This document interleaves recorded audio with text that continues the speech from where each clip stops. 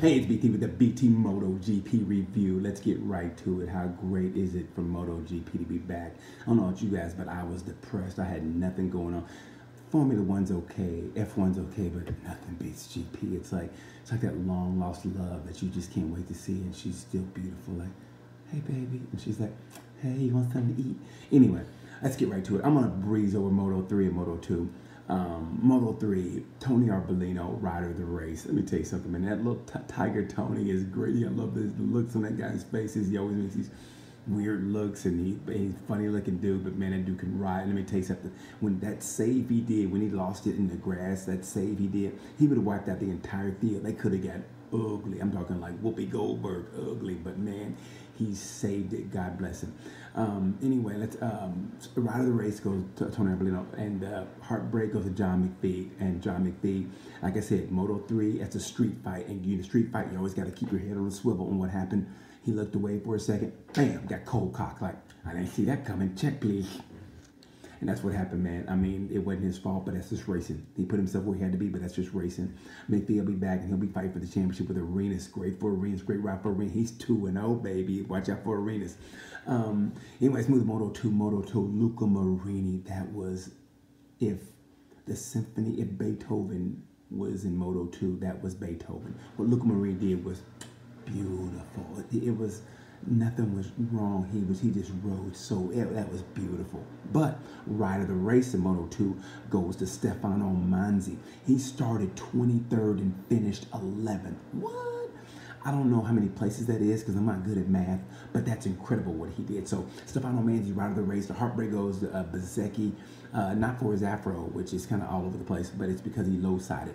Um, he'll be back. Good, uh. He's getting. He's, he's coming into Moto 2. Good for him. So right of the race, Stefano Manzi. Uh, heartbreak goes to Bezzecchi. MotoGP. Wow. First of all, what I want to say is, why did Maverick and Rossi go with the soft front? Who are you listening to? You ever, you ever have that like dude who has a girlfriend nobody really likes, and she tells him something, and he shows up. I don't know, and like bell bottom jeans. You go, what are you doing? My girlfriend said like everybody's wearing these. No, they're not. It's 2020. What do you do? That's what he did. He showed up bell bottoms at a party in the 80s, and you go, oh no. Um, I knew it was going to happen, but the host got the holeshot device, and he finally got a holeshot. So Maverick starts are better already. Matter of fact, they owe Ducati for that. They everybody's copying off Ducati. Ducati. Everybody is like on. You remember that show Tool Time with Tim Allen and the neighbor that had the eyes, and I would, would peek over the fence like, "Hey, what you guys doing?" That's what that's what everybody is like. Hey, Ducati, is that a holeshot device? Hey, what else you got there? Hey, does that does that help the bike with uh, raise up in height as you enter a turn? I mean, come on, man. Everybody's ripping off Ducati, but anyway, great for Maverick. Um, be honest, be, I had him for the win, and I thought he would give Fabio more of a race. I really did. He gave he gave Marquez a bit of a race, and I'll get to Marquez in a minute. But I was a little bit disappointed. Maverick got me. Second is great, and he still he could still win the championship. He's gonna grow in confidence, but still, I kind of thought he could have gave Fabio a better race. And anyway, so let's go to Marquez. What Marquez did, the first the first save, this well, the only save, this first save on his elbow, that anybody else that would have been done. And the fact that he saved it and then he flat tracked it and got him back onto the racetrack. The only thing he didn't do was my taxes, which were done last week. That's the only thing he didn't do because he did everything to keep that bike upright, and he did. And I was like, wow. Um, he came from 16th to 3rd. He's my rider of the race. I don't care what you guys say. I don't care what you think. He's my rider of the race because he came from 16th, 3rd with the greatest riders in the world. He carved them up like it was Thanksgiving Day at a soup kitchen where you got to cut little pieces to give them everybody. That's what he did. Hey, I got smallpox, but that's what he did. That was incredible. He passed every, even Miguel, remember Miguel Oliveira was like, hey man, after you. He didn't even try to race him. The only one who tried to race him was Jack Miller. And Miller had a good race, but still what Marquez did was incredible. He, and you can say what you want to say. He was going for that win he was on Maverick's butt, and I think he was was he four seconds, three four seconds down from from Fabio, and then he hit the high side, and they say he might have nerve damage in his arm, and we pray to whoever you pray to, if you pray or whatever, send him good thoughts, good positive vibe thoughts, because no matter what you think of Marquez, he is the straw that stirs the drink. Even though everybody loves Fabio, not everybody loves Fabio. Because he's the new kid on the block, and you can't help but love Fabio. I love him too. But same time, Marquez is a straw that stirs that drink in MotoGP. Love him or hate him, you watch it. They, should have just Marquez Cam. Is what they should do because man, you don't know what that guy's gonna do. Seriously, I mean, you don't know if he's gonna pull a rabbit out of his hat, literally, or do a wheel. And also, side note, uh, I'm getting frustrated with MotoGP when during a race they'll replay the start. I don't want to see the start again, or they'll go to Simon, and, and I love Simon, but they'll go to Simon during the race. He's trying to interview him. They can't hear him. He's got the mask on. The, the bikes are passing. It's it's just frustrating. So I wish they would just keep keep it on the race, on the race you're watching, like the first or second, whatever. And I know for sponsors you got to show the other right, the other riders, but still, it's so frustrating with the director, whoever is over the shots. That's very frustrating anyway. Um, almost rough around the race goes to um, goes to Dovizioso. What Dovizioso did, he did what champions do.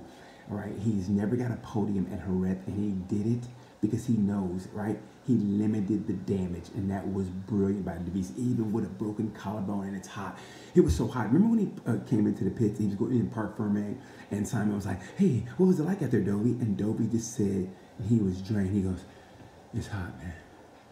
What do you think? It's hot, bro. I mean, the look on his face.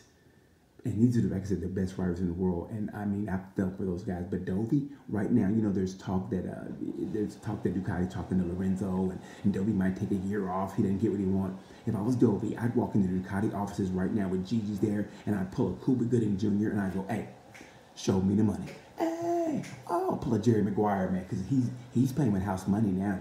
He got points at a, he got a, a podium at a race. He really was supposed to get a podium on, and and the, and the bike wasn't doing that well. And you know they signed Jack, Jack's great. They signed Jack, but the Dovizioso is still doing his thuggy thizzle, so good for him. And when they go to Austria, look at my face. When they go to Austria, look at my face. When they go to Austria, come on now. So with Marquez gone, and if Marquez comes back, let me tell you something. And I really don't want Marquez to come back. I mean, because the way I look at it is like this. Um, why? I mean, 13 races, just heal up, come back next year. But it, and Marquez is not going to take it easy. He don't know the word. He don't. He, he doesn't know the word compromise or hey man, just slow down. He doesn't know that, and it's good for us. But I want the guy to race for a long time. I want to see it. And if he comes back and he gets injured again, he know Marquez he's going to push it. He's going to hurt his arm. I mean, such is racing, but still, but he's not going to do that. But you got to consider even if he comes, even if he comes back for the fourth race, he's going to be down at least 100 points, 80 points. I mean, he could pull it off. It's Marquez. He could pull it off. If anybody can pull off, Marquez could. But why? I mean, I think it, and honestly, I think it'd be a better championship if he wasn't there because now it'd be more of a Dovi, Maverick, Fabio run. And I think and I don't know if Dovi can win it. I, I mean, I think he can outsmart him, but I, if that was the case, I still have Maverick for the, the championship, which is weird. I have, I have Maverick for the championship. But anyway, I thought it was great racing. Um, uh, the Rossi situation, you know, it's the same old story. The rear wheel spin, it's it's it's you know on, on the hot track and this and that. And even though the bike did break down, you know, it's like if I was Petronas, I hate to say it, but I don't think I even want him on the team. I'd be like, hey man, you know, let me pluck somebody from Moto Two.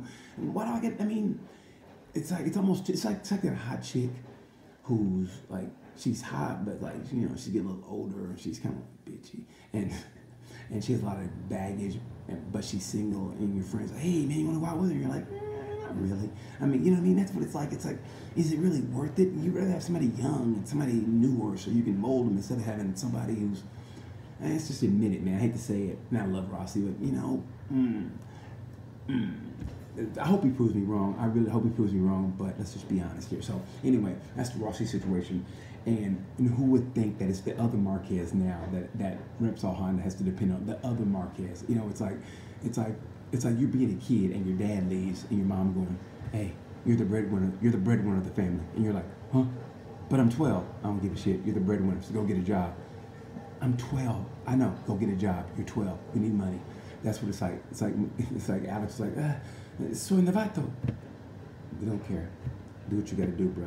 But you're the breadwinner. So Alex Marquez now is the King Marquez at HRC, which I think is funny. At least he will be for the next three weeks, I'm thinking. So anyway, MotoGP's back. It's gonna be interesting to see what happens next week. Um, it, it's just great race. It's the greatest sport on earth, and I mean it from the bottom of the greatest sport on earth. Nothing can rival MotoGP. Nothing. Um, so anyway, uh, I'm rambling, and before I get out here, I know this is like a non sequitur, but watch out. And even though Brad Binder did a great job, and I think he and Alex Marquez are going to buy for Rookie of the Year. It's going to be a great fight Rookie of the Year. Watch Zarco on that Ducati. When Zarco get watch Zarco on that Ducati end of the year, man. He's watch Zarco. Watch Zarco. Anyway, so uh, right of the race, Marquez, heartbreak. I'm gonna go with Marquez. Seriously, I'm Marquez, Marquez. I mean, and I hope he's gonna be okay. So, anyway, this one was I know it was a little weird, a little bit longer, but anyway, it's the first race of the year. I'm just so happy uh, that uh, GP is back, and uh, yeah, that's pretty much it. Um, so. Interesting. Oh, that was nasty. Interesting to see what happens the rest of the year. See what happens to Marquez. Hope he's going to be okay. But if you're going for the championship, I gotta say, I still like Vinales. I like Vinales and Dovi to get it on, but like I said, it's early. So anyway, it's over. Leave a comment, whatever. If you like it or hated it, I don't give a damn. I'm just glad you guys are watching. So anyway, it's BT Moto GP review. Hooray! Until next week. Bye.